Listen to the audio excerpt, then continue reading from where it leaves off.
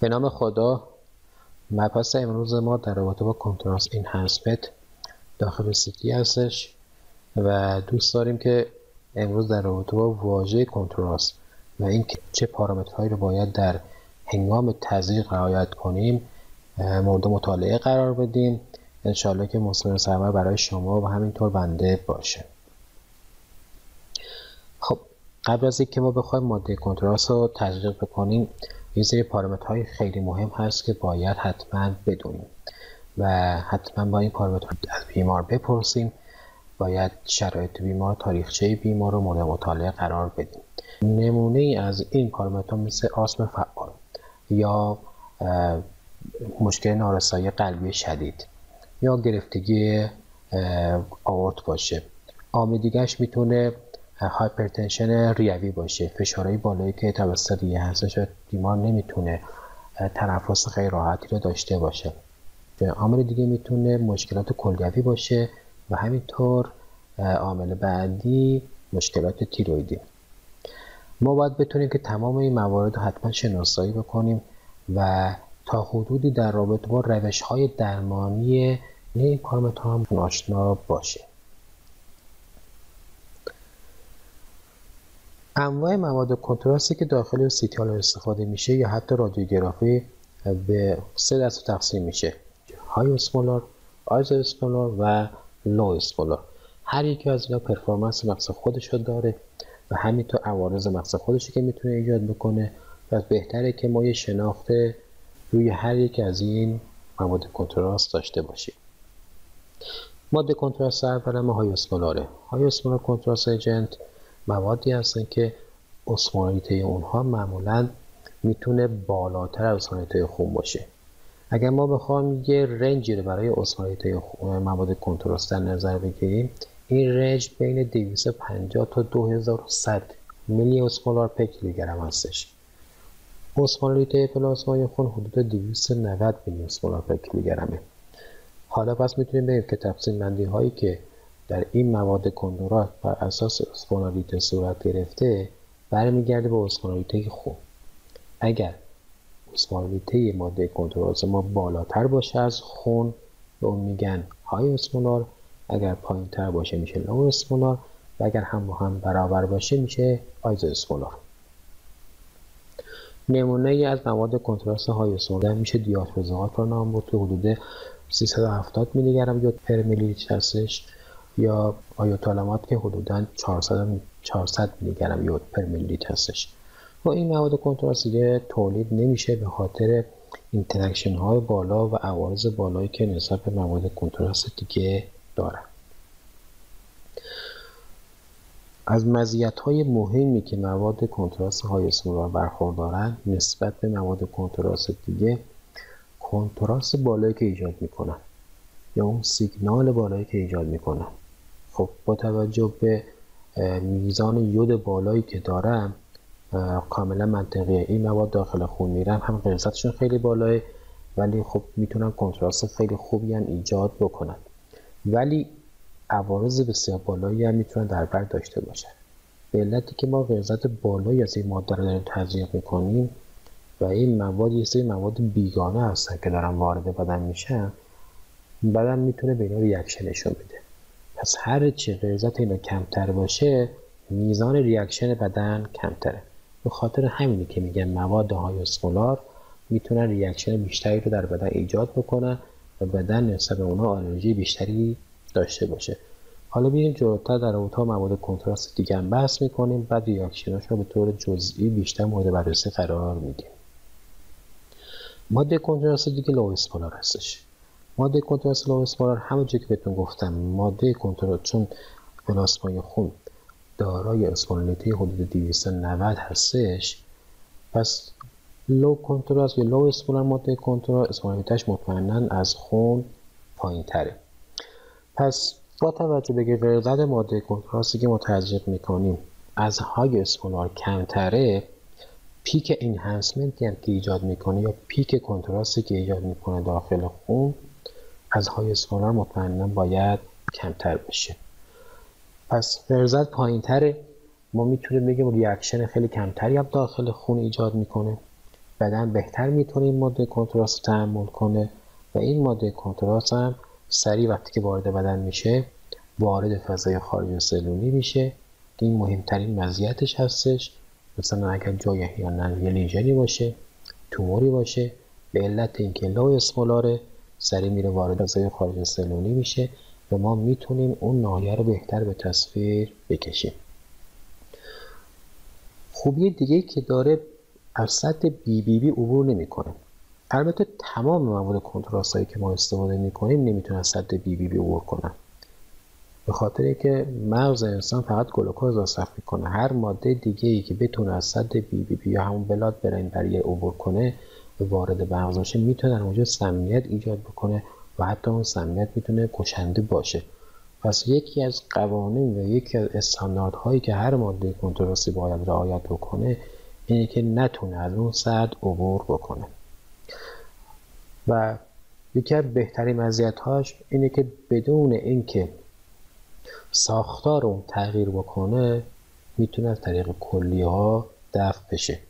که بزرگترین مزیته این نشون میده که حداقل reaction داخل بدن بیمار می‌تونه داشته باشه.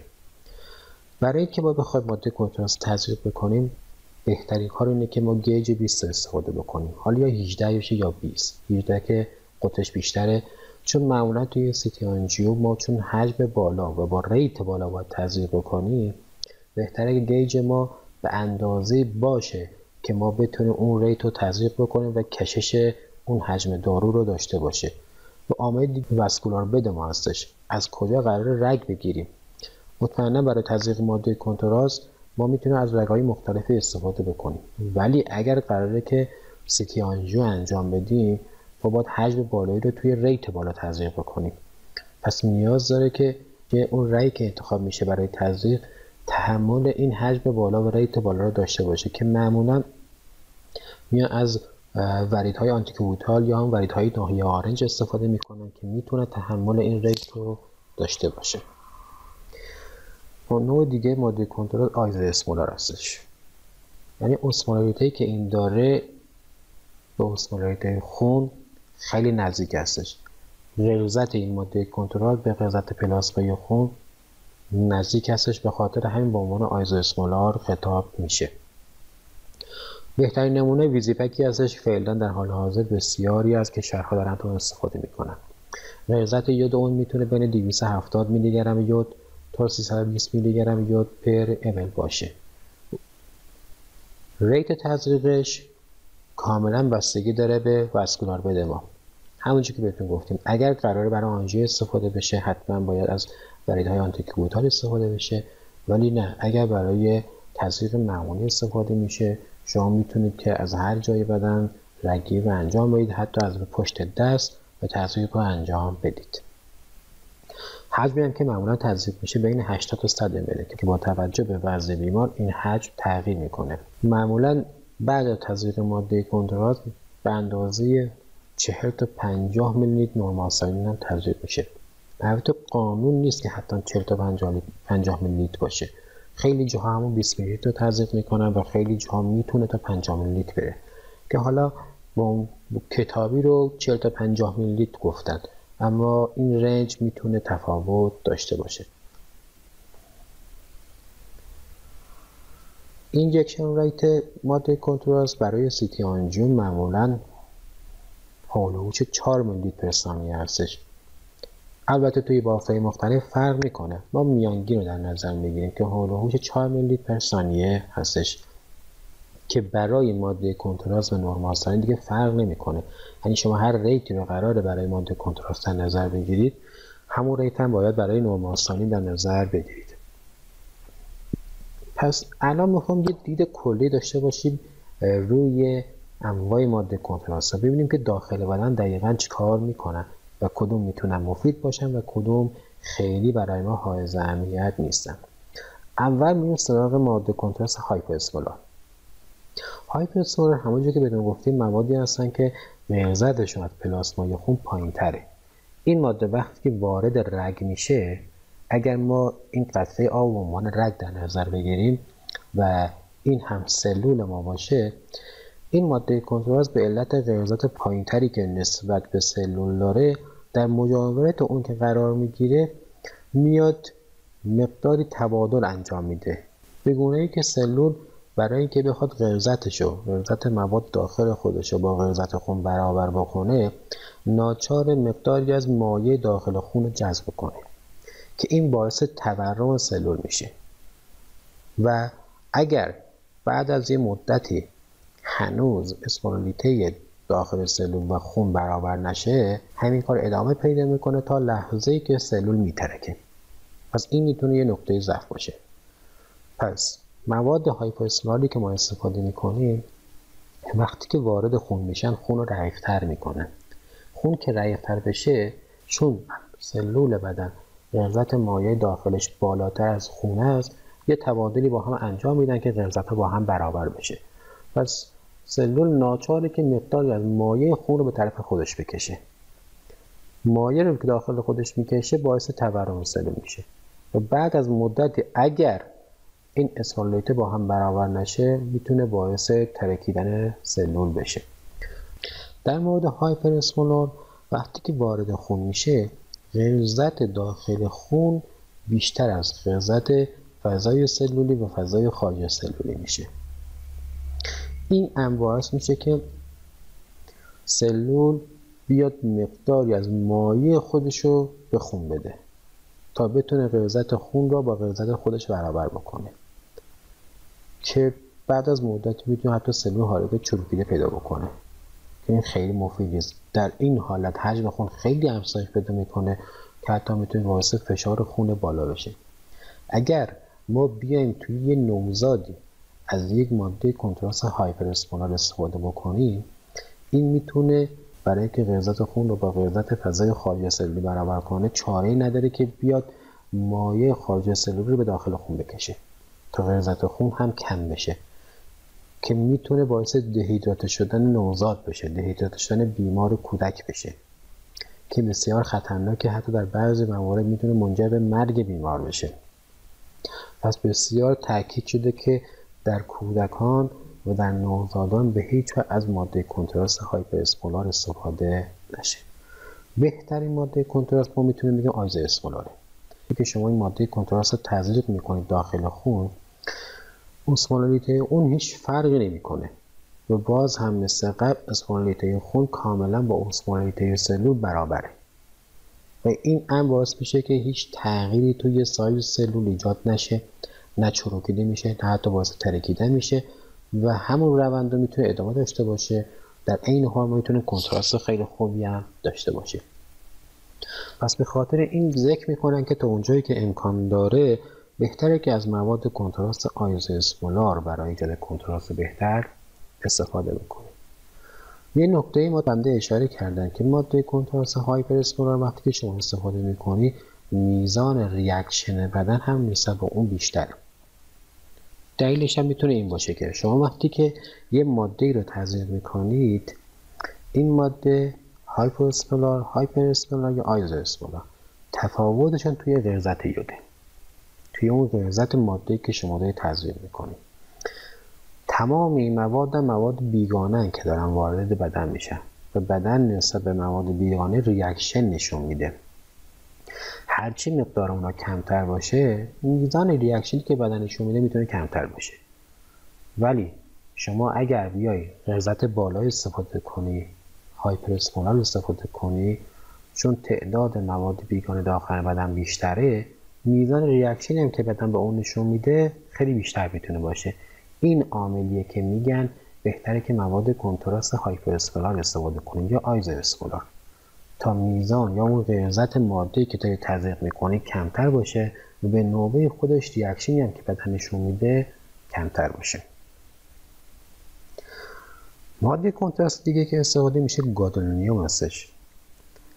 همونجا که خودتو مستحضری این ماده کنتراست فقط کاربردی که داره توی امارانژیوگرافی یا حتی امارایی با کنتراست هستش. اما در بعضی موارد امکان داره که از این ماده کنتراست داخل CT هم استفاده بشه. یا حتی گرافی معمولی. دلیلش چیه؟ دلیلش می‌تونه این باشه که بیمار نسبت به مواد کنتراست بر پایه یود حساس باشه. یعنی reaction بهش نشون میده. پس پزشک وقتی که درخواست می‌کنه از CT می‌خوام یا CT آنژیو می‌خوام ما نمی‌تونیم از ماده کنتراست بر پایه یود استفاده کنیم چون بدن نسبت به این ماده reaction نشون میده. از طرف دیگه بیمار نسبت به اماره هم کلاستروفوبیا داره. یعنی همین اسکن همین تصویر برداری رو نمی‌تونیم در قالب امار هم انجام بدیم. تنها راهی که میمونه بیایم از ماده کنتراست امارای به عنوان ماده کنتراست داخل سیتی استفاده بکنیم و بتونیم تصویربرداری رو انجام بدیم. سوالی که اینجا پیش میاد آیا ما قادریم با همون مقدار کم حالا مواد کنتراست که بر, پایه گادولینیوم باشن یا 7.5 ml هستن 7.5 میلی هستن یا 15 میلی لیتر آیا ما می‌تونیم بر با توجه به همین غلظت و همین حجم کنتراست خوب ایجاد کنیم؟ خیر. دلیلی که ما میگیم کنتراست گادولینیوم بهتره بر اساس لبه K اون هستش. یعنی عدد اتمی گادولینیوم نسبت به یود بیشتره. و لبه K اون هم به انرژی مؤثر طیفی که ما داخل حالا CT یا گرافی استفاده می‌کنیم نزدیکتره و این باعث میشه کنتراست خیلی بهتری ایجاد بکنه. ولی وقتی که ما دو تا ماده رو می‌خوایم مقایسه بکنیم مثلا همین یود و گادولینیوم غلظت های اونا باید با هم برابر باشه که بگیم گادولینیوم می‌تونه کنتراست بهتری ایجاد بکنه. پس اگر من قراره که از ماده کنتراست گادولینیوم استفاده کنم باید توی غلظت مشابهی استفاده بکنم تا بتونم کنتراست بهتری داشته باشم. پس معمولا میگن که باید سه تا از اون ویال های 15 میلیلیتری حالا Dotarem ما در نظر بگیریم سه تا از اون ویال های 15 میلیلیتری Dotarem باید تزریق بشه تا کنتراست قابل قبولی رو بتونه به ما نشون بده. پس اگر من بیام غلظت رو بررسی بکنم معمولا غلظتی که داخل امار تزریق میشه یک دهم میلی مولار هستش. یک دهم میلی مول پر کیلوگرم هستش که تزریق میشه. و داخل سیتی این غلظت باید سه دهم میلی مول پر کیلوگرم باشه. پس سه تا از اون ویال ها رو ما باید استفاده بکنیم تا بتونیم کنتراست قابل قبول داشته باشیم. یکی از عوامل دیگه ای که بسیار مهم متفورمین هستش. اگر ما داخل بخش های سیتی بریم اکثرا می‌بینیم یه کاغذ داخل پذیرش داده شده که روش نوشته حالی که متفورمی می‌خوره 48 ساعت قبل و 48 ساعت بعد از تزریق ماده کنتراست این ماده رو باید قطع بکنه اما آیا قانونا این کار درسته یا نه؟ یا توی بیمارهای مختلف فرق می‌کنه؟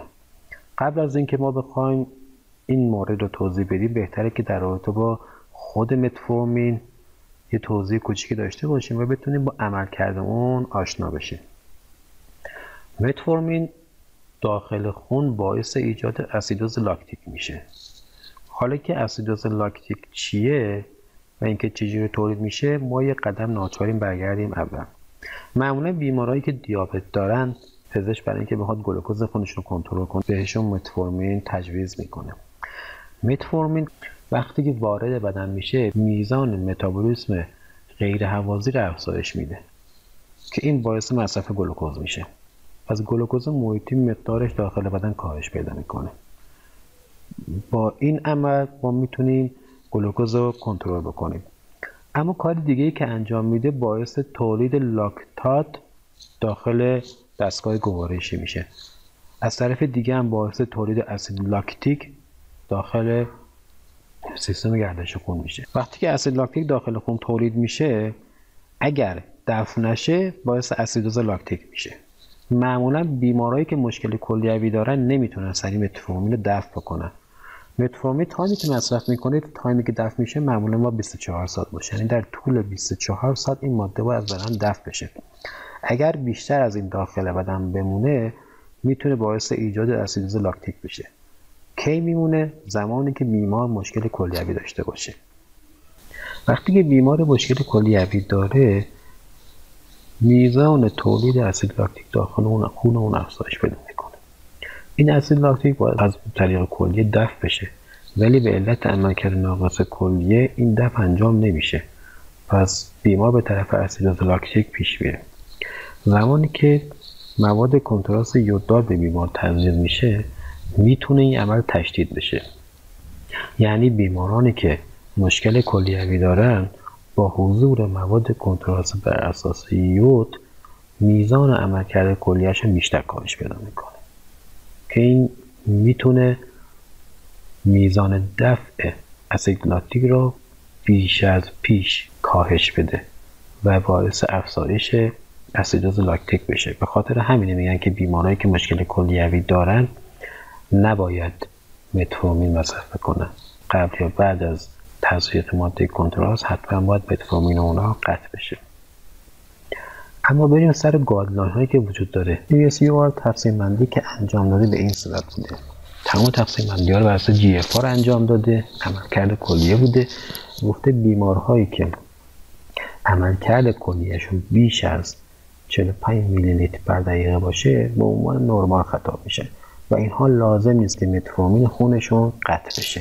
می‌تونن همین روال ادامه بدن ولی اگر GFR اونو بین 30 تا 44 باشه بهتره که متفورمین 48 ساعت قبل و 48 ساعت بعد از تزریق ماده کنتراست قطع بشه که باعث تشدید اسیدوز لاکتیک داخل خون نشه.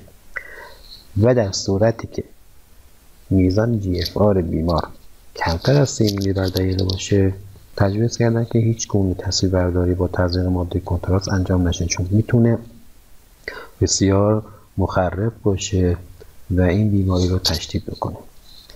ولی متفورمین در موارد اورژانسی گاهی موارد برای شما هم پیش میاد. بیمار اورژانسی میره پزشک حتما میگه که باید این کار رو براش انجام بشه و دیگه فرصت آزمایش چیزی نمیمونه.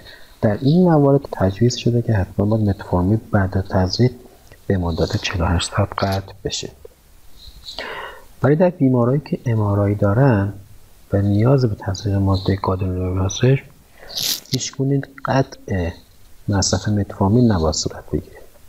اگر عملکرد کلی سی به پایین باشه جی که به هیچ وجه تزریق ماده کنتراست انجام نمیشه. حالا می‌خواد برای گادولیوم باشه می‌خواد دیوت باشه. ولی اگر بالای سی باشه در MRI نیاز نیست که 48 ساعت قبل بعد متفورمین قطع بشه. برای بیماری همودیالیز هم یه تقسیم بندی انجام دادن. گفتن که بیمارهایی که می‌خواد تزریق یود انجام بدن نیاز نیستش که کاریلیشن بین زمان همودیالیز تزریق ماده کنتراست وجود داشته باشه. ولی توی گادولینیوم گفتن که حتما وجود داشته باشه. به این صورت که اگر قرار تزریق انجام بشه بهتره که از بیمار بپرسید. که زمان دیالیز اونا کی هستش؟ و زمانی که قرار دیالیز انجام بده قبلش مثلا مراجعه کنه به مرکز تصویربرداری و تصویربرداری با کنتراست اون رو انجام بشه. با توجه به اینکه گفته توی تزریق یود نیاز نیست کارلیشن باشه بهتره که این کار انجام بدیم. مثلا چه برای تزریق با یود چه برای تزریق با گودمیوم بهتره که ما این زمان رو مد نظر قرار بدیم که قبل از اینکه بیمار بخواد به دیالیز انجام بشه یه وقتی بهش داده بشه که بیا تصویربرداری با تزریقش انجام بده. انجمن دیگه که اومده این نقطه رو مد نظر قرار داده انجمن رادیولوژی بایر هستش. تو این انجمن هم ذکر شده که بیمارهایی که جی اف بالای سی هستش نیاز هستش که متفورمین اونا قطع بشه. یکی دیگه از guideline های مطرح ACR guideline هستش که معمولا ترجمهش هم توی بازار موجود است. باز همین طبقه‌بندی ها رو اومده انجام داده ولی یکم متفاوت. اومده تقسیماتی که انجام داده گفته به دو تا گروه تقسیم کرده بیمارا رو. بیمارهایی که GFR شون بزرگتر مساوی 30 میلی لیتر بر دقیقه هستش نیاز به اینکه متفورمین رو قطع کنن وجود نداره براشون. یعنی اگر ما بیماری داشتیم که GFR ش بالای سی بود ما می‌تونیم تزریق رو انجام بدیم بدون که رژیمی برای متفورمین بیمار قائل بشیم. گروه دومی که براش قائل شده اومده گفته که بیمارهایی که GFR از سی کمتر باشه نیازه که متفورمین به مدت 48 ساعت قبل و بعد و بعد از تزریق قطع بشه. تا بتونن که کارهای imaging با کنتراست انجام بدن. گروه دیگه با گادولینیوم انجام داده همون ماده کنتراست MR و ذکر کرده بیمارها لازم نیستش که متفورمینشون رو قطع بکنن. خب با توجه به این تقسیم بندی ها و گزارش های مختلفی که guideline های مختلف ارائه دادن ما میگیم بهتره که بیایم همون طبقه بندی اولیه رو مد نظر قرار بدیم به این صورت که بیمارهایی که GFR شون از 45 به بالا باشه مشکلی نداره و ما می‌تونیم تزریقشون رو انجام بدیم. اگر GFR شون بین 30 تا 44 باشه بهتره که 48 ساعت قبل و 48 ساعت بعد از تزریق ماده کنتراست متفورمینشون قطع بشه و اونایی که زیر 30 هستش نمی‌تونیم تزریق انجام بدیم. مگه اینکه واقعا دیگه تجویز پزشک باشه و خودش عواقب این کار به گردن بگیره. توی بیمارایی هم که می‌خوان MRI انجام بدن با ماده کنتراست میشه گفت که اگر GFR شون از سی به بالا باشه نیاز نیست متفورمین قطع بشه. اگر هم که GFR شون از سی به پایین باشه که اصلا ما نمی‌تونیم تزریق ماده کنتراست رو انجام بدیم. پس در کل می‌تونیم بگیم که متفورمین در تزریق ماده کنتراست امارای هیچ نقشی نداره. برمیگردیم سر محل تزریق. این که رگگیری دقیقا از کجا باید انجام بشه و چه مزایایی می‌تونه برای ما داشته باشه. همون که گفتیم باید از آنتیکوبیتال یا ناحیه آرنج رگگیری انجام بشه. از gauge ی هم که استفاده می‌کنیم این gauge باید حالا یا 20 باشه یا 18 دیگه نمی‌تونیم بیایم در واقع قطرهای باریک‌تر استفاده بکنیم به خصوص در موارد CT angio. چون flow rate ی که ما استفاده می‌کنیم معمولا چهار هستش و این flow rate نیاز به اینجور gauge ی داره که حتما باید 20 یا 18 باشه. نکته مهمی دیگه حتما باید رگگیری از دست راست انجام بشه چون فاصله کمتری رو تا قلب طی می‌کنه و به دنبال اون بعد بعد از تزریق normal saline ما میزان streak artifact یا artifact درخشندگی خیلی کمتری در ناحیه در واقع عروق subclavian داریم. پس بهتره که رگگیری ما حتما تو این ناحیه انجام بشه. البته یه مزیت دیگه هم که براش قائل شدن اینه که ما می‌تونیم بعد از رگگیری از سمت راست می‌تونیم شریان های پستان داخلی رو از این طریق مشاهده بکنیم. یعنی اگر رگگیری از سمت چپ باشه با این flow rate امکان داره که این عروق نیست بشه. و ما نتونیم آنها رو به طور کامل مشاهده بکنیم. خب پس گفتیم که بهتره که gauge ما حتما 20 یا 18 باشه به خاطر flow rate بالایی که داریم تزریق می‌کنیم. اگر در مواردی ما ناچار شدیم که از gauge های بالاتر یا همون قطرهای ضعیفتر استفاده بکنیم ناچاریم برای جبران چون دیگه نمی‌تونیم همون flow rate رو تزریق بکنیم ناچاریم برای جبران ما میزان حجم داروی تزریقی رو بالا ببریم. امکان داره یه بیماری بیاد برای شما بیمار پیرمرد باشه یا cancer داشته باشه و شما نتونید از این آنژیوکت های استفاده کنیم و ناچار بشید که رجوع کنید به آنژیوکت هایی که قطر باریکتری دارن. به خاطر شکنندگی رگ ها چون سریع بمبه میشه و ما نمی‌تونیم کار انجام بدیم. خب رگگیری با آنژیوکت باریکتر انجام میشه. مواد کنتراست می‌خواد تزریق بشه و فرضا CT آنژیو brain داره. توی این موارد هولهوش 60 تا 70 میلی لیتر ماده کنتراست تزریق میشه.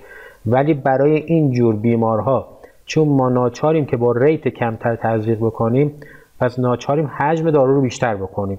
به جای 70 شاید ناچار بشیم بین 80 تا 90 میلی لیتر دارو تزریق بکنیم. تا از این طریق بتونیم اون gap ی که افتاده برای flow rate بالا رو ما جبران بکنیم. یعنی یه time زمانی بیشتری داشته باشیم که کنتراست این هست داخل رگ اتفاق میفته و دیگه ناچار به تکرار کار نشیم. خب بیایم بلوس جیومتری رو داخل رگ مطالعه بکنیم. یعنی وقتی که ما ماده کنتراس رو تزریق می‌کنیم ببینیم به چه شکلی داخل رگ عبور می‌کنه. در حالت ایدار اینه که من وقتی که می ماده کنتراس حالا با حجم 50 میلی لیتر یا بیشتر تزریق می‌کنم کاملا از یه ناحیه شروع بشه. اگر این طول رگ من باشه که ماده کنتراست در طول مسیر پیش میره یه حالت مستطیلی شکل. یعنی من تزریق کردم از این ناحیه ماده کنتراست من شروع میشه تا ناحیه که تزریق من تموم بشه. یه حالت مستطیلی شکله که این در حالت ایدئاله یعنی هر جای این مستطیل من شروع کنم به اسکن و همراه اون پیش برم من حد اکثر کنتراست رو می‌تونم داشته باشم. چون هیچ گونه افتی وجود نداره. تا این ناحیه که کاملا به صورت sharp افت پیدا می‌کنه. پس تو این ناحیه من هر جای هر جای ماده کنتراست شروع به اسکن بکنم من می‌تونم حد اکثر کنتراست رو داشته باشم. این در حالت ایدئاله ولی در حالت real و در حالت واقعی این اتفاق نمیافته. وقتی که ما ماده کنتراست رو تزریق می‌کنیم این محل محل صفره این لحظه ای که ماده کنتراست رو وارد رگ میشه حالت آبشاری رو افزایش پیدا می‌کنه و بعد از اون شروع به کاهش می‌کنه. تو این ناحیه ناحیه‌ای که دیگه تزریق من به طور کامل تموم شده. پس ما یه حالت پیک رو می‌تونیم داشته باشیم. دقیقا شبیه موج میمونه. شما مثلا موج دریا رو در نظر بگیرید. این موج یعنی یه حالت حداقل داره به پیک می‌رسه و بعد از موج دور شروع به کاهش می‌کنه. پس ورود ماده کنتراست یا هر دارویی داخل رگ شکل ورودش به این شکل یه موج هستش که ما در یه ناحیه پیک داریم و دو طرف پیک کاهش ماده رو داریم. پس من ماده کنتراستی که تزریق می‌کنم بهتره. اگر ناحیه صفر رو در نظر بگیرم و این بازوی اسندینگ اون باشه یعنی بازوی سعودی اون باشه و به پیک می‌رسه و بعد بازوی نزولی شروع میشه. بهتره که اسکن بیمار لحظه ای شروع بشه که ما توی بازوی سعودی تزریق هستیم. چرا که اگر احیانا ما بیفتیم توی بازوی نزولی و شرایط و پروتکل دقیق انتخاب نکرده باشیم اگر این پنجره اسکن من باشه این پنجره اسکن من باشه و من مثلا بیام در این ناحیه در ناحیه نزولی انتخاب کنم برای شروع اسکن و سرعت حرکت ماده کنتراست من از سرعت اسکن من بیشتر باشه ما هرچی میریم پیکه میاد جلوتر پیکه میاد جلوتر و از پنجره اسکن من خارج میشه و ما میفتیم توی بازوی نزولی اون. این باعث میشه که کنتراست ما هی شروع به کاهش بکنه. یعنی روند تدریجی داریم که کنتراست کاهش پیدا می‌کنه و این خب خیلی اسکن خوبی نیستش و برای پزشک هم قابل قبول نیستش.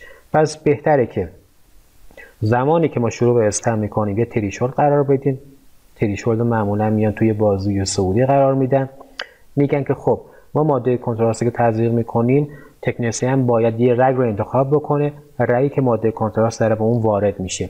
یه تریشولدی براش در نظر می‌گیره که این تریشولد می‌تونه بین 100 تا 200 باشه که معمولا تو این ناحیه ها میشه. میگه هر وقت ترانسفید یونیت من به این ناحیه به ناحیه 100 رسید اسکن شما آغاز کن. پس این دفعه میشه گفت که اسکن زمانی آغاز میشه که ما توی بازوی سعودی تزریق قرار داریم. حالا اگر احیانا در طول اسکن ماده کنتراست ما سریعتر هم حرکت بکنه ما میزان وریبیلیتی بیشتری خواهیم داشت. میزان وریبیلیتی بیشتری خواهیم داشت و اون صورت دیگه کنتراست ما شدتش کاهش پیدا نمی‌کنه و این قابل قبول خواهد بود. پس ما باید دقیقا این ناحیه تریشول رو تشخیص بدیم تا بتونیم یه سیتی آنجیو خیلی خوب داشته باشیم. عامل دیگه بسیار برای عاملا که peak enhancement ی هستش که شما دارید می‌بینید. اگر من بیام به صورت uniphase یا به صورت تکفاز مادهمو تزریق بکنم ماده کنتراست مثلا حجم 60 یا 70 میلی لیتر انتخاب میشه. میزان flow rate ش رو می‌ذاریم 4 تزریق که می‌کنیم اینجا peak ی رو به ما میده. پس تشخیص threshold خیلی برای ما مهمه. در بعضی موارد برای اینکه بخوایم میزان اشتباه تکنیسیان رو کم بکنم میان به صورت biphasic یا در دو فاز تزریق رو انجام میدن مثلا میان یه flow rate رو می‌ذارن روی چهار مقدارش تزریق می‌کنه. از اون 50 تا 25 تاش تزریق می‌کنن و 25 تای بعدی رو با flow rate دو و نیم یا سه تزریق می‌کنن این کار باعث میشه که peak تزریق ما بزرگتر بشه و تکنیسیان میزان اشتباهش کاهش میده. مثلا اگه قرار باشه توی single phase تزریق انجام بده پنجره زمانی اون می‌تونه از از اینجا شروع بشه و تا این ناحیه ادامه داشته باشه. ولی وقتی که در دو فاز تزریق می‌کنه چون peak enhancement ش بزرگتر شده لذا می‌تونه پنجره زمانی اسکنش رو افزایش بده. اینجوری پز... اینجوری تکنسیان میاد میزان اشتباهش کاهش میده. یعنی اگر نتونه تریشولد انتخاب بکنه تو این ناحیه و بیاد بالاتر هم انتخاب بکنه به علت پیک وسیعی که داره این پنجره اسکن این امکان رو به تکنسیان میده که اینقدر دیگه درگیر خطا و کاهش کنتراست نشه. یه بار دیگه مرور می‌کنیم. پس زمانی که می‌خواید شما شروع به اسکن بکنید یه مانیتور داره. تو این مانیتور میاید ریت تزریق و حجم تزریق رو مشخص می‌کنید. مثلا میاید مقدار ماده تزریقی رو مقدار حجمی که می‌خواید تزریق کنید می‌ذارید رو 50 میلی لیتر ریتش هم می‌ذارید روی 4 میلی لیتر بر ثانیه. تزریق با اسکن همزمان امکان داره انجام بشه. خب مطمئنا یه دیلی هم شما باید به اسکن بدید. چون شما زمانی که تزریق می‌کنید تا زمانی که برسه به ناحیه مورد نظر با توجه به جاهای مختلف فرق می‌کنه. مثلا اگر توی عروق pulmonary باشه 13 ثانیه زمان شما رو می‌گیره. توی brain باشه 20 22 ثانیه زمان شما رو می‌گیره. این تفاوت زمانی رو پس برای شما باید ملاک بشه پس کاری که می‌کنیم ما میایم میگه ماده کنتراست تزریق میشه.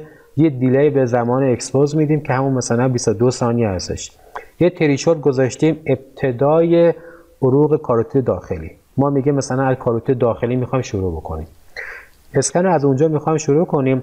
زمانی که دارو می‌خواد به اونجا برسه حدودا 15 ثانیه ما در نظر بگیریم که طول می‌کشه. پس تزریق رو انجام میدیم.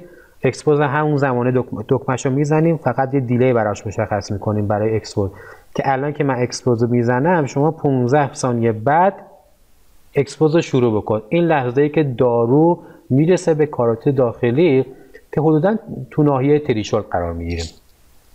و با توجه به اینکه این پیک داره در طول کاروت داخلی پیش میره اسکن من هم داره در طول اون و پشت سر اون پیش میره. پس یه پنجره زمانی محدود من دارم. یعنی توقع دارم همونجور که ماده کنتراست در طول رگ حرکت می‌کنه اسکنم پشت حرکت بکنه. یعنی تختم همون زمان پشت حرکت بکنه و از این پیک عقب نمونه. پس یه پنجره زمانی محدود ما داریم. اگر احیانا زمان چرخش تویوب سرعت اسکن و تکنسیان اشتباه انتخاب بکنه امکان داره که از این پیک جا بمونه. پس برای اینکه بیان جبران بکنن اومدن در واقع تزریق بیفازیک رو در نظر گرفتن. یه تزریقی که در دو سرعت مختلف انجام بشه. مثلا اولی با 4 میلی لیتر پر ثانیه و دومی با 2.5 یا 3 میلی لیتر پر ثانیه انتخاب میشه. پس اولی تزریق انجام میشه 25 میلی لیترش تزریق میشه. بعد از 25 میلی لیتر مابقیش با سرعت 2.5 یا 3 تزریق ادامه میده. این باعث میشه که پیک ما وسیع تر بشه.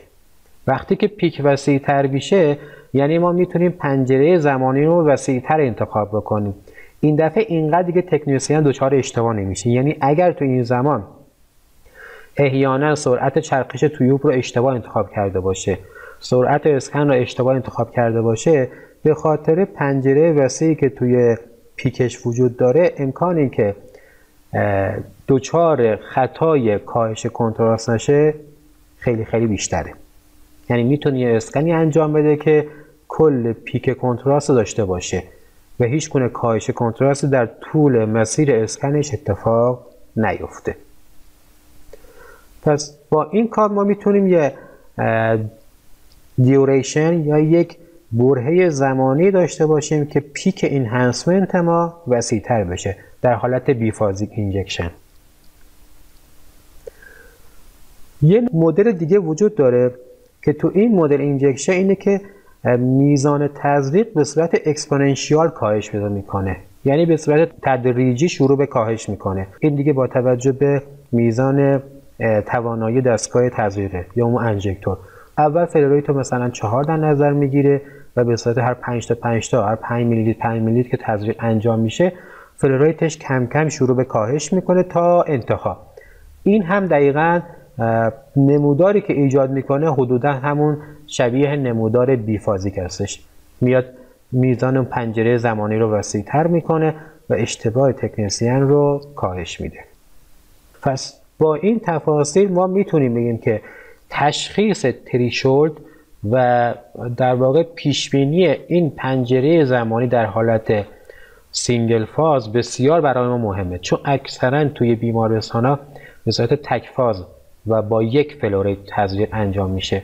از این توانایی و تجربه تکنسیان رو میرسونه که بتونه اینو تو ذهنش مجسم بکنه و بتونه threshold رو تشخیص بده و در بازوی صعودی تزریق که همون ابتدای تزریق اگه این لحظه صفر تزریق باشه در بازوی سعودی تزریق بیاد اسکن شروع بکنه.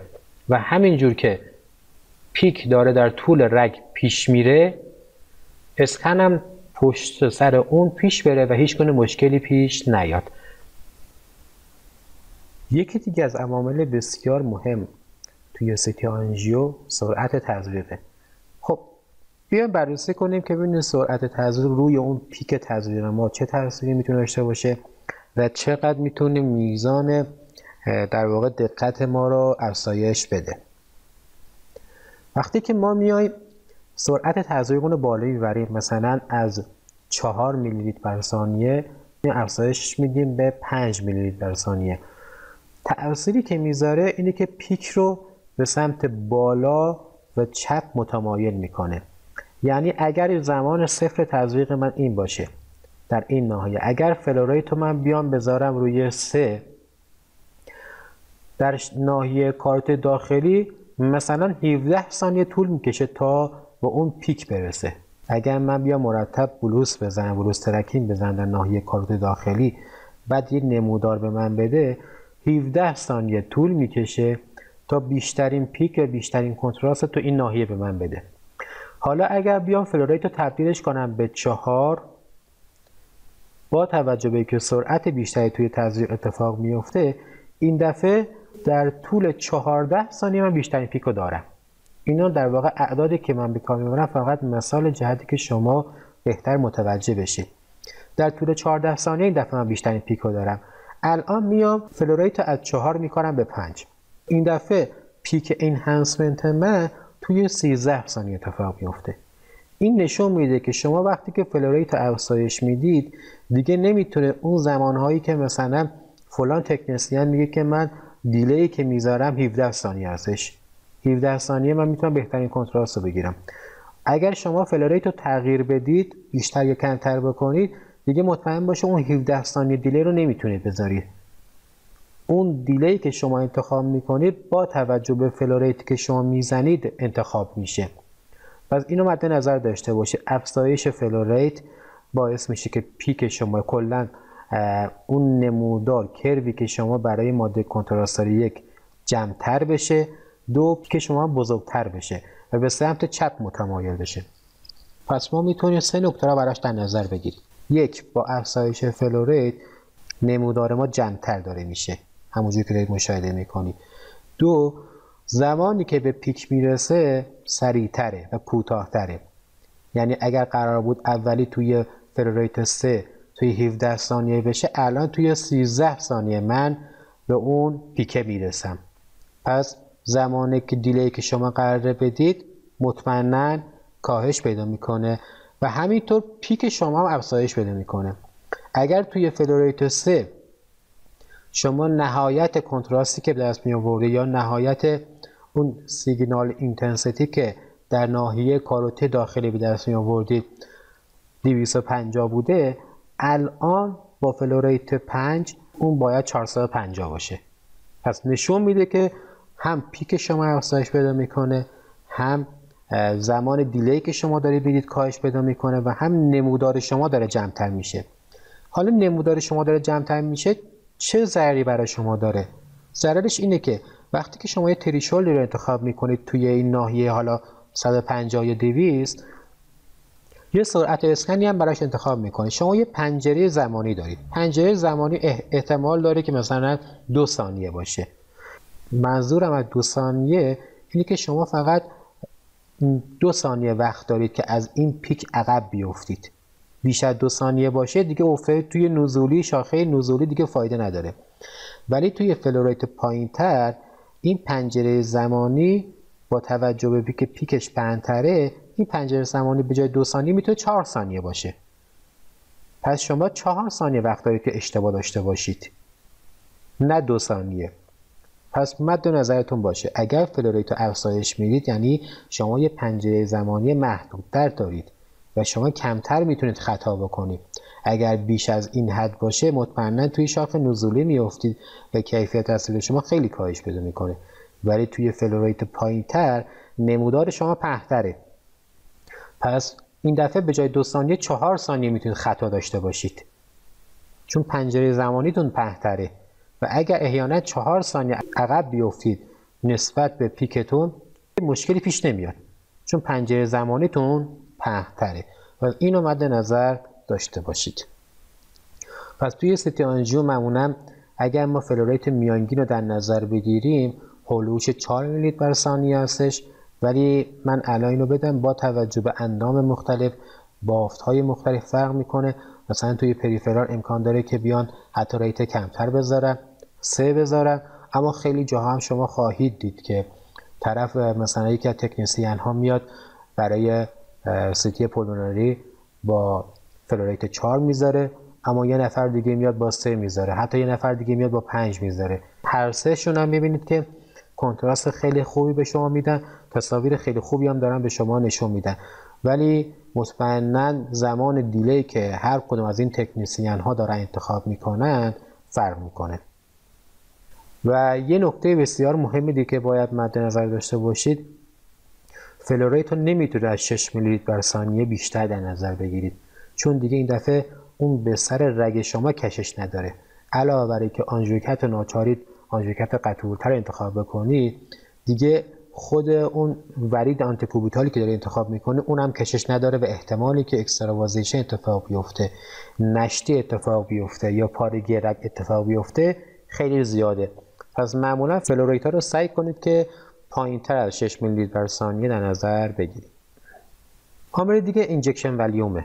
مقدار ماده کنتراستی که داره تزریق می‌کنید و با توجه البته توی کشور ما بگیم نه حالا توی کشورهای دیگه توی کشور ما این مقدار خیلی variability ش زیاده. یعنی ما داریم دوستانی که با, کلا با 60 میلی ماده کنتراست حتی کمتر میان CT pulmonary می‌زنن میان CT cardiac می‌زنن و حتی CT آنژیوهای دیگه دارن می‌زنن. ولی داریم حتی دوستانی که با حداقل با 120 میلی این کار رو انجام میدن. این در واقع نشون میده که هر چه حج بالاتر باشه این نشون میده که اون تکنسیان توانایی نداره و برای اینکه بخواد خطایش رو کاهش بده میزان حجم دارو رو داره افزایش میده. ببینید حجم دارو چیکار می‌کنه؟ اگر من بیام اگر من 50 میلی لیتر دارو انتخاب کنم یه نموداری به این شکل داره به من میده. وقتی که من میام حجم و افزایش میدم نمودار من هم پیکش داره افزایش پیدا می‌کنه. علاوه بر اینکه پیکو داره افزایش میده سطح زیر نمودار من هم داره افزایش پیدا می‌کنه. یعنی نمودار من داره پهتر میشه. پس با افزایش حجم سطح زیر نمودار من داره پهتر میشه و پیک این هنسمنت من دیرتر اتفاق میفته بعد مثلا اولی اگر توی دیله 13 ثانیه اتفاق بیفته با افزایش حجم توی 15 ثانیه اتفاق میفته اگر حجم رو بیشتر افزایش بدم باز هم پیک من دیرتر اتفاق میفته و نمودار ما هم پهتر میشه. این پهمودن نمودار باعث میشه که تکنیسیان خطاش کمتر بشه. یعنی دیگه لازم نیستش که حتما دقیق این تریشولی که تو این ناحیه قرار داره توی شاخ سعودی تزریق قرار داره رو تشخیص بده. وقتی که میاد می‌ذاره روی 150 احیانا اگر اسکن مثلا یه لحظه دیرتر شروع بکنه با توجه به حجم زیاد دارو و پهن شدن این پنجره زمانی میزان خطاش کاهش میده. و خیالش راحته که دیرتر توی شاخ نزولی و ناحیه که کنتراست بسیار کاهش پیدا کرده میفته پس دو نقطه رو مد نظر قرار میدیم که پیک این هنسمنت ما توی زمان دیلی دیرتری اتفاق میفته و دومی که پنجره زمانی ما پهتر میشه. په شدن پنجره زمانی یعنی که تکنسیان میزان خطاش اینجوری کاهش میده. خب این مطمئنا شاید شما خیلی بگید خب اگه اینجوریه من میام حجم دارم افزایش میدم. ولی لحاظ اخلاقی کار درست نیست به خصوص که این دارو بسیار برای بیمار مضره حتی بیمار نرمال. پس بهتره که ما حداقل حجم استفاده بکنیم که کارای سیتی آنجو رو انجام بدیم. پس تو این موارد بهتره که ما این نمودارها رو بهتر بشناسیم. بتونیم شاخ صعودی رو تشخیص بدیم شاخ نزولی رو تشخیص بدیم. و بفهمیم که threshold رو کجا باید در نظر بگیریم. حتما بین 100 تا 200 باشه. حتی بعضی موارد کمتر انتخاب می‌کنن. توی 50 انتخاب می‌کنه. بستگی داره که شما چه بافتی رو بخواید. CT angio رو انجام بدید که انشاءالله در CT angio بیشتر توی این موارد بحث میشه. پس threshold ی که شما انتخاب می‌کنید می‌تونید یه CT angio داشته باشید که خیلی خوب باشه کنتراست خیلی عالی داشته باشه و با حد اقل حجم اون کار رو انجام بدید. پس اینم گفتیم که اگر ما حجم رو افزایش بدیم پیک ما شیفت پیدا می‌کنه به طرف راست نسبت به زمان صفر یعنی که پیک ما در زمان دیرتری اتفاق میفته نسبت به حجم های کمتر. یه نکته که بسیار مهمه باید در نظر بگیرید اینه که شما با چه دستگاهی دارید کار می‌کنید. مثلا اگر با دستگاهی کار می‌کنید که فرضا زیر چهار slice ه معمولا injection duration با scan duration با هم برابره. ولی اگر توی دستگاه هایی باشه که از 4 slice بالاتر باشه 16 64 و حتی بالاتر زمان اسکن شما خیلی سریعه. و این دفعه دیگه شما نمی‌تونید scan duration تون رو مساوی injection duration قرار بدید. مطمئنا زمان اسکن شما خیلی کمتره. پس این دفعه شما باید بسیار دقیقتر عمل کنید توی انتخاب peak پس توی 4 slice به پایین معمولا injection duration با scan duration با هم برابره مشکلی پیش نمیاد. ولی توی اسکن هایی که حالا 16 slice باشن و به بالا باشن حالا 8 slice به بالا باشن این دفعه شما دیگه نمی‌تونید scan duration دقیقا مساوی injection duration قرار بدید. یه زمانی برای تزریق انتخاب می‌کنید که احتمال داره که مثلا 20 ثانیه طول بکشه. و این و threshold ی که شما انتخاب می‌کنید می‌تونید threshold حتی بالاتر هم ببرید. به جای 100 بذارید روی 200 چرا؟ چون زمان اسکن شما خیلی سریعتر از CT های 4 slice و حتی کمتر هستش. و حتی توی CT هایی که الان جدیدن به بازار اومده و برای قلب داره انجام میده توی فاصله که با یه صدای خیلی کوچیک beep اسکن بیمار تموم میشه. یعنی اسکن قلب بیمار تموم میشه. پس این نشون میده که دیگه دقیقا شما threshold تون بهتر تو همون ناحیه peak باشه. شما پیک رو بهتری که دقیقا شناسایی بکنید. اگر اسکن دقیقا توی همین نقطه انجام بدید یعنی بهترین کنتراست شما می‌تونید داشته باشید. عامل دیگه که بسیار برای ما مهم هستش غلظت ماده کنتراست هستش. غلظت ماده کنتراست هر چی افزایش پیدا کنه پیک این هنسمنتی که به ما میده افزایش پیدا می‌کنه.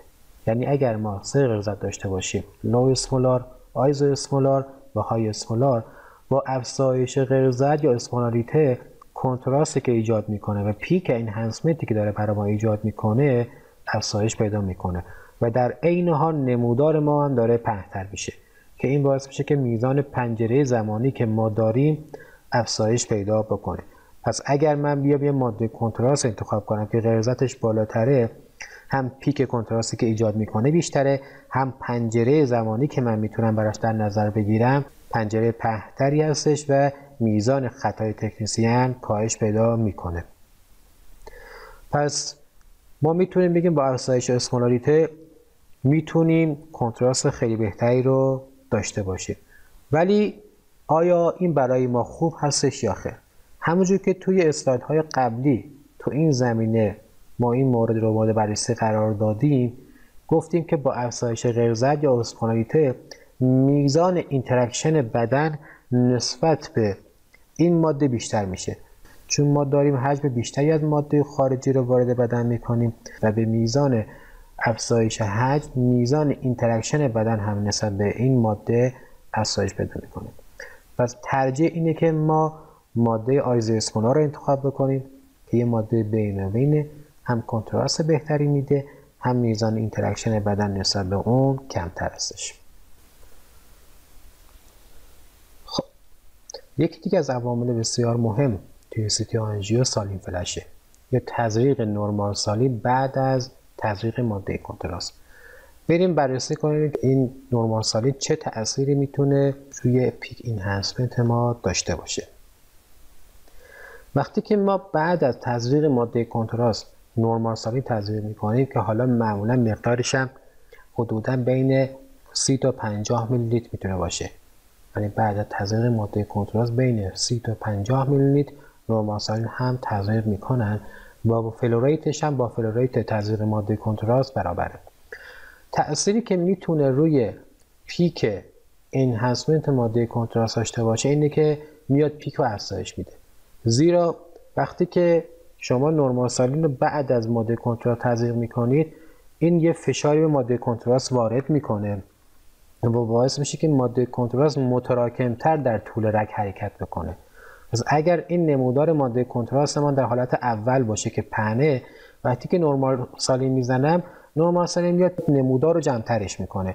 و علاوه بر اینکه نمودار رو جمعترش می‌کنه پیک این هم افزایش میده. پس با افزایش پیک این هنسمنت ما می‌تونیم کنتراست خیلی بهتری هم داشته باشیم و یکی از تاثیرهای بسیار مهم دیگه که می‌تونه داشته باشه اون کاهش استریک آرتیفکته معمولا ماده کنتراستی که تزریق میشه ما یه streak artifact در ناحیه subclavian داریم که اگر بتونیم normal saline رو با همون flow rate تزریق بکنیم مقدار اون کاهش پیدا می‌کنه. البته حجم normal saline هم بهتون گفتم که باید بین 30 تا 50 میلی‌لیتر باشه تا بتونه یه نقش بسزایی رو روی این نمودار contrast enhancement برای ما بازی بکنه. و اگر شما بخواید یه تزریق ماده کنتراست انجام بدید با نورمال سالی بهتره که از دوال انجکتورها استفاده بکنید. در خیلی از موارد شما می‌تونید ببینید که انجکتور سینگله. و کاری که معمولا بعضی از تکنسیان رو انجام میدن میان ماده کنتراست رو مقداری با نورمال سالین مخلوط می‌کنن و در واقع میزان غلظت ماده کنتراست کاهش میدن. و از این طریق اون streak artifact ی که در طول subclavian و همینجور SVC یا ورید فوقانی اتفاق میفته که وارد قلب بشه کاهش پیدا می‌کنه. این موارد بسیار در CT angio pulmonary خیلی مهمه. CT angio pulmonary ما وقتی که ما می‌خوایم شریان های سرخرگ شریان وقتی که می‌خوایم سرخرگ های ریوی رو ببینیم بسیار مهمه که شما زمان تزریق رو کی انتخاب می‌کنید و زمان اسکن رو کی قراره بهتره که بسیار مهمه که زمان اسکن شما کی قراره انتخاب بکنید بهترین لحظه زمانیه که داخل IVC ما دیگه ماده کنتراست نداشته باشیم و در عین حال داخل بطن راست بیمار فقط ماده کنتراست باشه و داخل بطن چپ ماده کنتراست نباشه و ما فقط شریان های ریوی رو بتونیم ببینیم. در این حالت ما می‌تونیم بگیم که بهترین کنتراست رو داریم و بهترین CT angio رو انجام دادیم. پس انتخاب injection rate انتخاب حجم ماده کنتراست و همینجور normal saline بسیار مهمه. ولی در بسیاری از موارد موارد شما می‌بینید که علاوه بر اینکه استریک آرتفکت در ناحیه ساب کلویان داره مشاهده میشه در ناحیه IVC هم داره مشاهده میشه. یعنی ماده کنتراست هنوز داخل شریان های ریوی هستش. یعنی ماده کنتراست داخل شریان های ریوی شده. شما اسکن آغاز کردی. ولی ادامه ماده کنتراست هنوز داخل IVC باقی مونده. پس در این جور موارد اگر ما بیایم نرمال سالین تزریق بکنیم به علت فشاری که به ماده کنتراست وارد می‌کنه میزان ماده کنتراست متراکم تر می‌کنه در طول رگ. در واقع حجم کمتری از رگ رو داره اشغال می‌کنه و این باعث میشه که در زمانی که مثلا این باعث میشه که زمانی که شما دارید سرخ های ریوی رو به تصویر می‌کشید دیگه داخل IVC ما ماده کنتراست نداشته باشیم. عامل دیگه که بسیار مهمه میزان عملکرد قلبه. میزان عملکرد قلب خیلی می‌تونه روی کارایی شما تاثیر بذاره. تمام مواردی که ما اینجا توضیح دادیم نمودارهای مختلف همش برای بیمارهای نرمال بود. حالا اگر بیماری به طور شما بخوره که مشکل قلبی داشته باشه خیلی از کارهای شما رو می‌تونه مختل بکنه. نمونهش اینه که میزان پیک انهانسمنتی که برای شما ایجاد می‌کنه خیلی کمتره. چون قلب توانایی پمپ کردن ماده کنتراست نداره. چون توانایی چون توانایی قلب پمپ کردن خون رو نداره. و این باعث میشه که پیک شما و این باعث میشه که نمودار شما پهتر بشه. به ازای پهتر شدن نمودار پیک شما هم داره کاهش پیدا می‌کنه. و خب تو اینجور موارد مطمئنا شما می‌تونید تریشولی براش انتخاب بکنید که همون 100 یا 150 باشه اسکنتون رو شروع بکنید و با یه کنتراست اینهانسمنت کمتر قلب رو به تصویر بکشید. تو این نقطه خیلی مد نظر قرار داشته باشه که حجم بالاتری رو تزریق نکنید یا غرزت بالاتر رو انتخاب نکنید. چون مطمئن باشه که امکان داره امکان داره که ارست قلبی اتفاق بیفته. وقتی که قلب نمی‌تونه خون نرمال خودش رو پمپ بکنه و شما بیاید یه ماده کنتراست تر... یه ماده کنتراست تزریق بکنید که غلظتش از خون بالاتره هایوسمولاره این باعث میشه که واقعا دیگه توانایی پمپ کرده ماده کنتراست دیگه دست بده. پس زمانی که شما میاید یه ماده کنتراست رو انتخاب می‌کنید که غلظتش از خون بالاتره امکان داره دیگه قلب از کار بیفته. چون تو پمپ کردن چون توی پمپ کردن خون نرمال هم نرمال هم مونده. ولی شما یه ماده کنتراست تزریق کردید که غلظتش بالاتر از خونه. از یه حجم سنگینی از ماده با غلظت خیلی بالا الان وارد قلب شده. قلب دیگه توانایی پمپ کردن اونو پمپ کردن اونو نداره. و امکان داره که قلب از کار بیفته در این لحظه. پس بهتره که تو بیمارای قلبی حتما ماده هایی که استفاده می‌کنه یا اسکولار باشه یا اسکولار باشه و همون با سالین فلش کار انجام بدید. پس حجم افزایش ندید غرزت ماده کنتراست هم افزایش ندید که باعث احتمالا مرگ بیمار